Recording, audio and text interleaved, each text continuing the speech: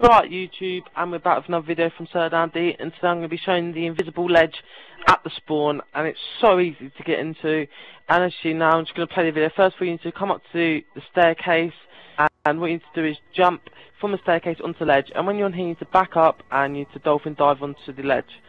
And as you now haven't dropped, and I'm in some prone blocks and thing. If I go to third person, actually now I'm in midair on some invisible ledge.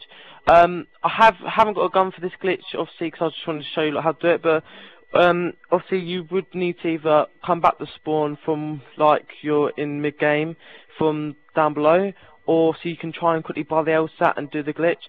It's a really easy glitch to get into, so if you fail once you come back up from the portal thing from down by the maze and come back up and try it again. So yeah, if you'd like to like, comment, sub to YouTube, that'd be much appreciated.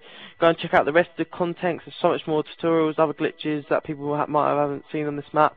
So yeah, and that's peace out people.